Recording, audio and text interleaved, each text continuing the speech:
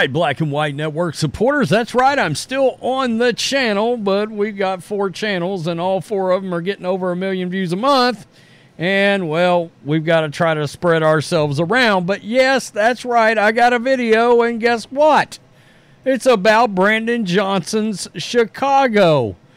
Now, it's going to be very interesting to see how the voting demographics break down in November are we actually going to see a large number of Chicago residents vote for President Trump? Uh, I am still extremely skeptical, regardless of how much perceived anger there is right now. Now, a lot of people are angry in Chicago. They're angry because illegal aliens have, well, butted into their own city's resources. The communities are being affected by illegal aliens that have taken over various community spaces. Measles is of all things is now a thing across the country because of illegal aliens. Crime, violent crime, Laken Riley, perfect example. Now we've seen Chicago residents get angrier and angrier and back somebody they supported, Brandon Johnson, into a corner. And now Brandon Johnson is about to enact and evict illegal aliens out of Chicago. That's right, the sanctuary city.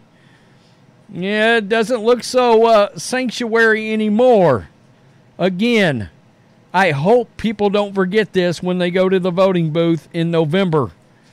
You've got to vote red, regardless of whether or not Brandon Johnson or some other Democrat puts a band aid on these ridiculous policies. Shout out to Greg Abbott and Ron DeSantis for bussing those people up there to get the attention it deserved. Chicago is moving ahead with plans to evict illegal immigrants from shelters. How important is this? Elon Musk actually tweeted this out earlier. There is either a red wave this November or America is doomed. Imagine four more years of this getting worse. And he is talking about an illegal immigration crisis in New York and, of course, across America. The city of Chicago is moving ahead with plans to evict illegal immigrants from the city shelters beginning Sunday. That's right, tomorrow and they plan to evict more than 2,000 illegal immigrants by the end of April. According to a report from NBC News published on Friday, the first 35 will face eviction on Sunday, and nearly 250 will be evicted from city and state run shelters before the end of March. A total of 2,026 are expected to be evicted before the end of April, city officials said. Chicago currently has more than 11,000 illegal immigrants spread across 23 shelters in and around the city, but a new policy limiting their stays in such shelter was supposed to take effect last November. Where are they going to go? I mean, Chicago's got a homeless crisis and has for as long as, well, the leftists are been in office up there. What are they going to do then? Again, we're giving all this money and resources when we got veterans on the streets that can't can't find a warm place to stay. It's appalling. After a number of delays due to extreme weather conditions, the policy is set to be implemented beginning on Sunday. Once illegal aliens have been evicted from shelters, they may find an alternative housing arrangement or they can go back to Chicago's quote landing zone. Landing zone? Where they go upon first arrival in the city and request to be reassigned to a shelter. So they're going to turn around and run them right back through the process?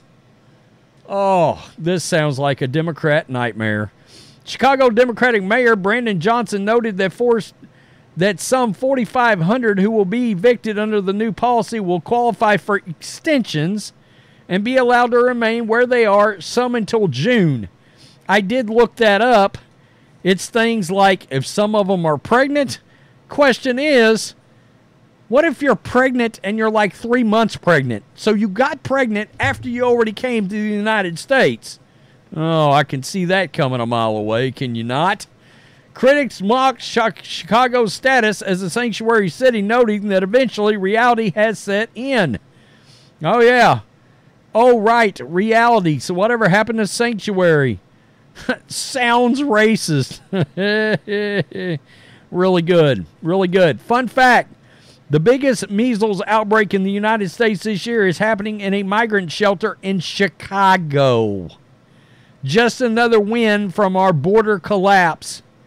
And look, those residents were furious long, long before this measles outbreak took place. Their crime started going up, but when inner city communities started having their resources taken away from them, places that they were used to going, used to being, where now they look up flooded by illegal aliens, right? And that finally lit a fire under a lot of residents. A lot of Chicagoans have claimed that they are going to vote for Trump in the November election. I, I will tend to believe it when I see it that has been a Democratic hellhole for so long. You know, I quit doing the crime, uh, the uh, the the uh, murder videos because I mean, if you're just going to vote this over and over the same in local elections and state-run elections, what's the point? Nobody's getting the point, right? Uh, this is the one issue where it seems like it finally woke a lot of people up. And yeah, it sparked more crime, etc. But you, you got other issues in Chicago. You got to address this. This has got to be addressed on a national scale. It's got to be addressed by Biden. Don't forget, this is a Biden problem. I can't believe I'm going to say this. It's not a Brandon Johnson problem. It's a Joe Biden problem. And Lord knows Brandon Johnson's worth, worse than Lori Lightfoot, and that's saying a lot. But this all stems and comes from Joe Biden and his non existent policies on the border. You know, again, just uphold federal law on, on the border and you're good. You don't have to pass new border bills or none of that. It's all already in place or just reenact everything that Trump put in put in when he was in office. I mean, it's pretty easy. It's it's not rocket science. Uh, I I'm going to be interested to see if this is going to be some Democratic turnstile of illegal aliens that are just going to go through this process. We're going to evict them. They can go back to their where they came from but then they can apply to be reassigned again. What are you doing? That's just more resources making one big circle. Democrats burning money? Say it ain't so. Tell me what you think, Black and White Network supporters. Yeah, I'm still around. Peace. I'm out. Till next time.